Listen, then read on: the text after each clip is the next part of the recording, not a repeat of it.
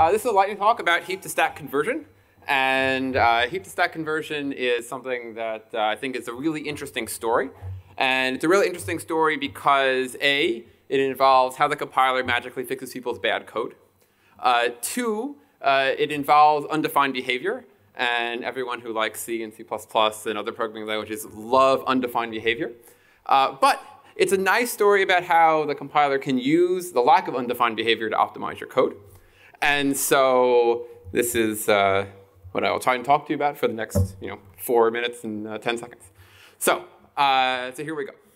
So what is heap, heap to stack conversion? So heap, heap to stack conversion is a transformation where the compiler can uh, take calls to uh, malloc or new and their corresponding calls to uh, delete or free and can convert them in certain situations into stack allocations. So uh, generically, this uh, can happen when the size of the allocation is constant and relatively small. Obviously, you can do it in other cases too, but for now, we'll say constant and relatively small. Uh, and, uh, and there are a number of reasons uh, why you might want to do that. Uh, so, and I've highlighted here three. So one reason you may want to do that is because your memory allocator may not be super, super fast.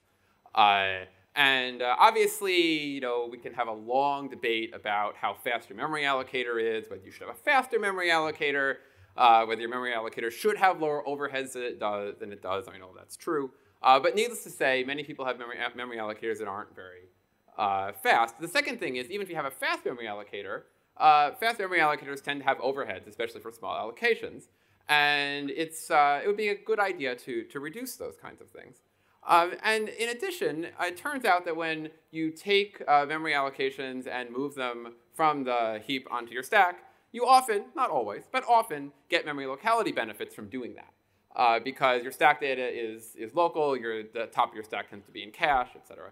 And so uh, there are sort of side benefits to doing this. And in addition, there are optimization benefits. So uh, you know, the, the memory allocation functions are special, sort of, to the compiler. I mean, the compiler does understand what malloc does to some extent, what new does to some extent. Uh, but, you know, to most of the compiler, these things just like look like opaque external function calls. And they block optimizations and do other things that aren't so nice. So uh, what uh, converting these things into stack allocations does is it frees up the optimizer to uh, perform additional optimizations. Okay, so how do, how do we do this?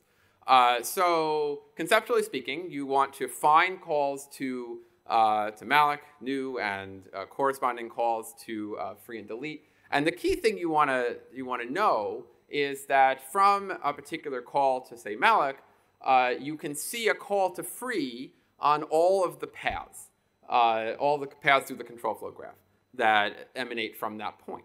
So you have the kind of collection of calls to, to free and delete, and those that collection of calls, not an individual call, need to sort of post-dominate uh, that the, the call to, to malloc in, in some sense. Um, and I, I, said that there was a, a, nice sort of connection here to, to undefined behavior, and I, I want to mention this quickly. Um, so, so many people think about heap to stack conversion as requiring a capturing analysis, and it does to some extent. But the capturing analysis isn't, in some sense, the important point. Because often in the cases where this matters, the data, the pointer actually is captured. Um, but the point is that since you know it's not valid to free the data twice, uh, as long as you can see the call to free on all of the paths, even if there are external function calls in the way and things that you can't analyze, you know that it's safe to do the conversion. And you're relying on the fact that freeing the data twice would be undefined behavior. Thus, you assume that doesn't happen. And thus, so long as you see some call to free, then you know that you can convert the pair. Now, the tricky part here is that uh, you do need to make sure that, the, that you, all those frees that you see are actually reachable. And there's another tie into undefined behavior there as well, because in C and C++, in most cases, you get to assume things like loops terminate, uh, unless they have I.O. or atomics and things like that, which you can check for. And so uh, we have to leverage these different undefined behavior properties, I should say the lack of undefined behavior, that allows us to prove various things about the optimization we want to do, and is a good tie-in here to enabling this optimization. Thank you.